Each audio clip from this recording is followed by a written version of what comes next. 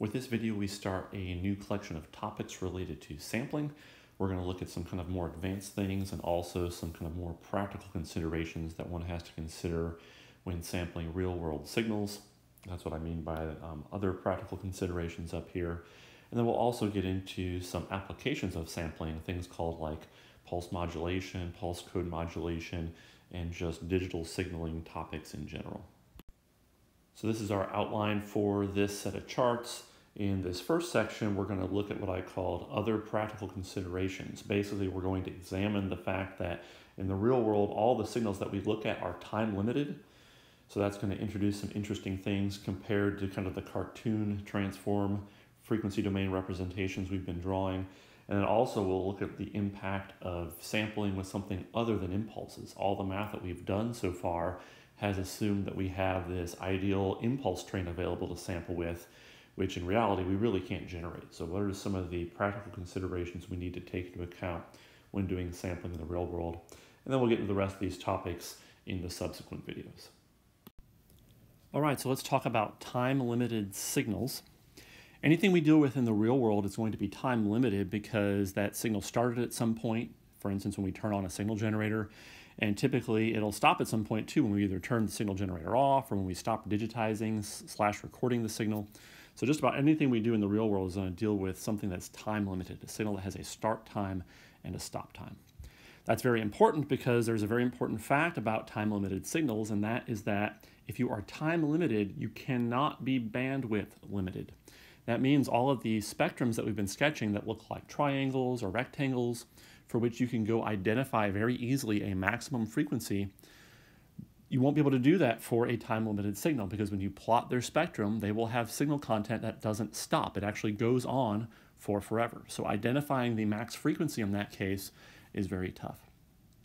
These equations right here quantify this time-limited, band-limited phenomenon. So TD right here stands for time duration, and this is a metric that you can compute for a continuous time signal x of t. So here's x of t. If I plug any continuous time signal into this equation right here and do the computation, you can see what happens on the denominator. Basically, I'm computing the energy of that signal. And then on the numerator, it's very similar, except I'm multiplying by t squared. So what this tends to do is I tend to have values for TD that are large for signals x of t that exist for a long amount of time on the time axis. For instance, a signal that exists from time minus 1,000 to 1,000, as I'm multiplying 1,000 squared at time 1,000 times this, that results in a TD that's very large. On the other hand, if my signal only exists from time minus 0.1 to 0.1, then when I multiply by t at those periods of time and do the weighting here in the numerator, I end up with a TD that's very small. So if you kind of look at these numerator and denominator terms and think about what happens as I have signals that exist for long periods of time or short periods of time, you can kind of see how TD grows and shrinks accordingly. BW is the bandwidth of a signal, and it's defined very similarly, except all of these quantities in the definition of BW are with respect to frequency. But you can make the exact same arguments. If I have a continuous time signal x of t, whose Fourier transform is x of omega, if x of omega exists for a very large amount of frequencies omega, then this integral here on the numerator will be very large, resulting in a BW scalar that is very large. On the other hand, if I have a signal that exists in the frequency domain for only a small amount of omega, maybe from minus one radian a second to one radian a second, then the omega squared weighting here, when multiplying, it ends up with an integral that's very small, and I end up with a BW that is very small. So again, bandwidth, in terms of how it's defined here, give us a measure for how much frequency content or how much bandwidth the signal has. So we have a metric for what we call the time duration, how spread out on the time axis something is.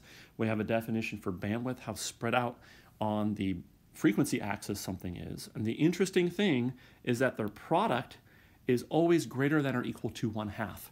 And that's where how we relate time and bandwidth to each other here. Since their product is always greater than one half, that means if I have a very small time duration, I have to have a very large bandwidth. Or vice versa, if I have a very small bandwidth, then I must have a very large time duration. So as we shrink one of these, the other has to grow. and we must always have their product greater than one half. This is sometimes called the uncertainty principle. It's uh, as you shrink one dimension, you grow the other dimension. We see this in physics, called the uncertainty principle in physics. As I more precisely locate something in position, I know less and less about its velocity, and vice versa. So it's very similar to that phenomena that you've seen in physics.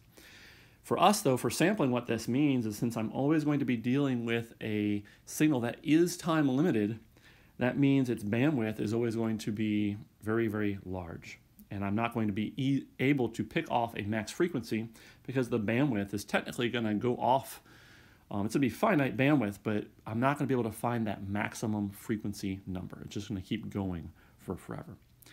So what we'll do to get a little uh, more intuition to these, I kind of argued through them verbally on how TD grows and shrinks as the signal is stretched on the time axis, and similarly how bandwidth shrinks and grows as the signal changes in the frequency domain.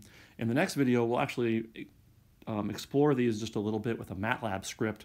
I'll code up a continuous time signal x of t. We'll look at its Fourier transform x of omega, and we'll see how this always is satisfied for the one particular example we're looking at.